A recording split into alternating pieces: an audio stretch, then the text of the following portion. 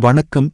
Vadivel comedy பாணியில் எங்கள் ஊரின் பெயரைக் காணோம் என்று கிராம மக்கள் போராட்டம் நடத்தியது பலருக்கும் வியப்பை ஏற்படுத்தியது. நகைச்சுவை நடிகர் வடிவேலுவின் கிணற்றைக் காணோம் என்ற காமெடி பாணியில் எங்கள் ஊரின் பெயரைக் காணோம் என்று கிராம மக்கள் போராட்டத்தில் ஈடுபட்டனர். இது மட்டுமல்ல யதார்த்த வாழ்வில் நூதனமாக நடைபெறும் பெரும்பாலான சம்பவங்களை கூட வடிவேலு படத்தில் வரும் சுற்றுடர்களை பயன்படுத்துகிறோம். சரி இப்போது பிரச்சனை என்னவென்பதை காண்போம். காஞ்சிபுரம் மாவட்டம் பரணிபுத்தூர் ஊராட்சிக்கு உட்பட்ட குறிமேடு என்ற பகுதியில் பேருந்து நிலையத்தில் அரசு சார்பில் ஊரின் பெயர் பலகை வைக்கப்பட்டுள்ளது. அந்த பலகையில் ஊரின் பெயரான குறிமேடு என்று எழுதுவதற்கு பதில் சின்னப்பணிச்சேரி பேருந்து நிறுத்தம் என்று எழுதியிருந்தது. இதனைக் கண்டு அதிர்ச்சியடைந்த குறிமேடு பகுதி மக்கள் இது தொடர்பாக ஊராட்சி மன்ற தலைவரிடம் முறையிட்டுள்ளார்கள். அதற்கு அவர் அரசின் பதிவேட்டில் உள்ளதைத்தான் நாங்கள் பெயர் பலகையில் வைத்துள்ளோம் என்று பதில் கூறியுள்ளார். இந்த பதிலில் திருப்தியடையாத குறிமேடு மக்கள் சம்பந்தப்பட்ட உயர் அதிகாரிகளிடம் பலமுறை பெயர் பலகையில் பிழை உள்ளதாகவும்